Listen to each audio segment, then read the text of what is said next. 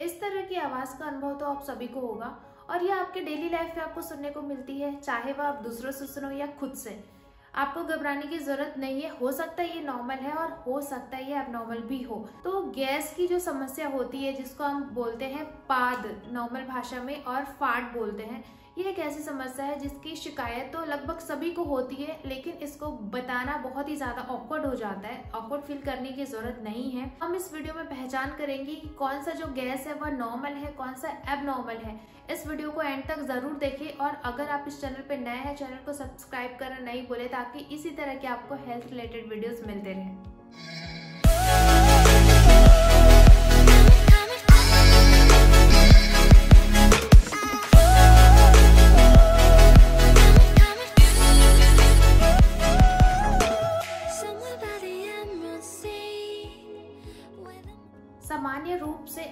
आप सात से दस बार फाट कर रहे या पाद आ रहा है तो यह बिल्कुल नॉर्मल है। लेकिन यह इससे ज़्यादा बार हो रहा है तो यह हो सकता है आपके अपान वायु से कनेक्टेड हो।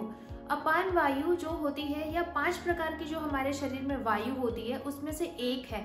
अपान वायु जो है, शरीर में बने अपशिष्ट आहार को, यानी कि जो ऐसे फ़ूड वेस्ट प्रोडक्ट्स होते हैं यूरिन होता है, आपका स्पर्म होता है ये शरीर से बाहर निकालने के लिए प्रेरित करता है। और अगर आपके शरीर में अपान वायु कुपित है या फिर इम्बैलेंस है तो यह आपके शरीर में बहुत ही ज़्यादा गैस कॉज करता है।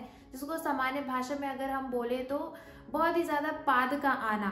अपान वायु अगर हमारे शरीर में इम्बैलेंस होता है तो ये बहुत सारे संकेत हमें देता है। किसी किसी को हिचकी आता है, लेकिन भारत में कहा जाता है कि अगर आपको हिचकी आ रही तो कोई आपको याद कर रहा है, लेकिन ऐसा नहीं है इससे। इसका मतलब है कि आपकी बॉडी में अपान वायु जो है इम्बैलेंस है। यह आपके शरीर से कुछ ऐसी चीज़ों को बाहर नहीं निकाल पा रहा है। ड्यू टू सम रीजन हम जानेंगे इसके कारण को भी कि यह क्यों हमारे बॉडी में इम्बैलेंस होता है। दूसरा, किसी का पेट बहुत फूला सा लगता है, यानी कि जो अपान वायु है, वह शरीर से गंदगी को बाहर नहीं ले जा पाती। और तीसरा होता है बार बार गैस का पास होना। और कई बार होता है कि बहुत ही ज़्यादा बदबूदार गैस निकलती है। बहुत सारे लोग बोलते हैं कि ठुसकी आना है। वो ठुसकी जो होती है, यानी कि जब आवाज़ कम होती है पाद में और बहुत ही ज़्यादा स्मेल देती है, इसका मतलब है कि आपका अपान वायु प्रकोपित है और बहुत ही ज़्यादा मात्रा में ये आपके बॉडी में इम्बैलेंस क्रिएट कर रहा है।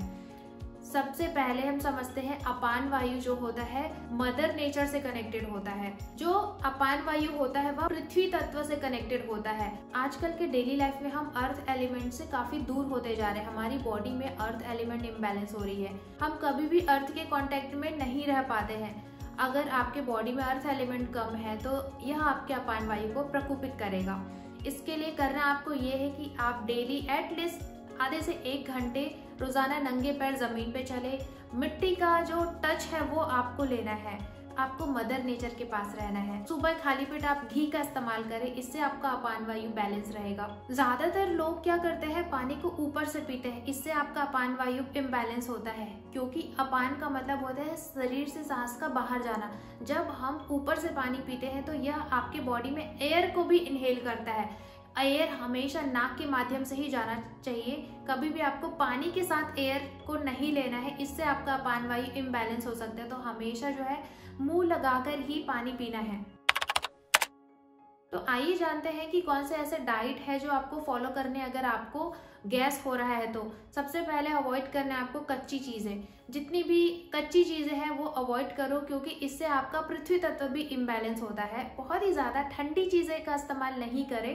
कुछ ऐसी अच्छी बैक्टीरिया होती है जिसकी कमी से भी गैस बनती है। तो उसके लिए आपको एक स्पोरोलिक पाउडर आता है, गट फ्लोरा होता है, उसको रोज़ाना आप उपयोग में लाए। या फिर आप ले सकते हैं दही, छाछ, ये सब भी ले सकते हैं, लेकिन सूर्यास्त के बाद इसको नहीं लेना है, आपको दोपहर के टाइम ही लेना है।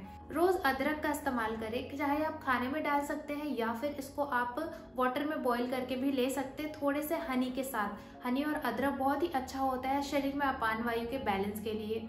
लेकिन जिनको भी पित्त प्रवृत्ति, यानी कि जिनको बहुत ज़्यादा एसिडिटी बनती है, जिनके शरीर का जो प्रवृत्ति गर्म होता है, वह अदरक का इस्तेमाल नहीं करे, उसके जगह पे आप सौफ का इस्तेमाल कर सकते हैं। जिनको भी गैस की प्रॉब्लम है, वह एक मुद्रा ज़रूर रोज लगाए। उस मुद्रा का नाम है अपान वायु मुद्रा। करना ये है आपको, आपके जो इंडेक्स फिंगर है और मिडिल फिंगर है, उसको आपके थम से आपको इस तरह से रखना है और आपकी जो ये दो फिंगर्स है, उसको आपको सीधे रखना है और इस तरह से ये मुद्रा लगानी है आपको। ये मुद्रा आप कभी भी लगा सकते हो, चलते समय भी लगा सकते हो, बैठे समय भी लगा सकते हो या कुछ काम करते समय भी लगा सकते हो। अगर आप ध्यान में ये मुद्रा लगाए तो ये ज़्यादा असरदार होती है। ये मुद्रा आप रोज लगा सकते हो। लेकिन प्रेग्नेंट लेडीज़ को ये मुद्रा अवॉइड करना है क्योंकि ये जो है पेल्विक फ्लोर में कॉन्ट्रेक्शन पैदा करती है। इन शॉर्ट जानते हैं आपको करना क्या है? सबसे पहले डेली वॉक लेना है अपान वायु मुद्रा लगाना है, पानी अच्छे से पीना है, रोज आपको प्राणायाम करने हैं और स्पोरोलिक पाउडर या जितने भी गट फ्लोरा वाली चीज़ें हैं, वो आपको खानी है। कच्ची चीज़ों का इस्तेमाल नहीं करना है हमेशा। नेचर में आपको गर्म चीज़ें लेनी है और साथ ही रुक्ष वाली चीज़ों का इस्तेमाल नहीं करना है। अगर आपको यह वीडियो अच्छी लगी होती तो शेयर ज़रूर करें और अगर इस वीडियो में नए हैं तो आप चैनल को ज़रूर सब्सक्राइब करें। इसी तरह के हेल्थ रिलेटेड वीडियोस आपको मिलते रहेंगे। आज के लिए केवल इतना ही। मिलते हैं हम अपने अगले वीडियो में। तब तक सभी अपना ध्यान रखें। नमस्कार।